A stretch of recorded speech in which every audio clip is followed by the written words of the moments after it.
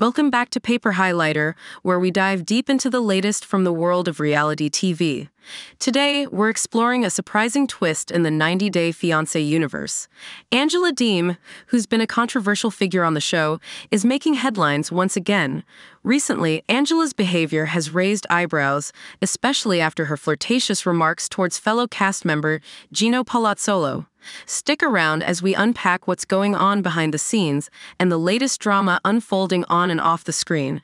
Angela Deem from 90 Day Fiancé has been airing her grievances about Michael Ilesanmi both on and off camera.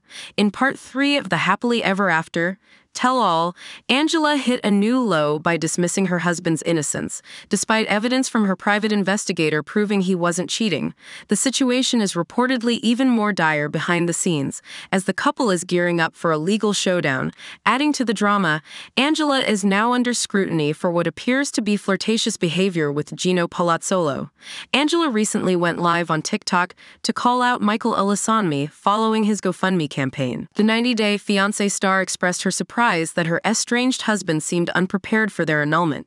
She questioned, Did you not understand when I said, Obey who? Obey what? Angela made it clear that she's not a submissive mother queen and declared she won't let Michael have an easy life. She added, Obviously, I know you better than you know me. How about using GoFundMe to reimburse me for the years I spent with a scammer? Boom. Crown thought. Angela flirts with Gino.